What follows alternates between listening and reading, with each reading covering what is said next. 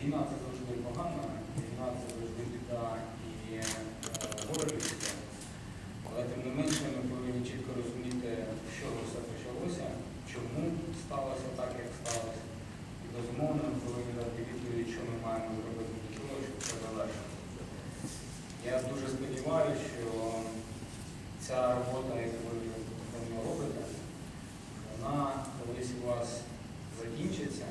І остання виставка, виставки буде в українських містах Донецької Луганської.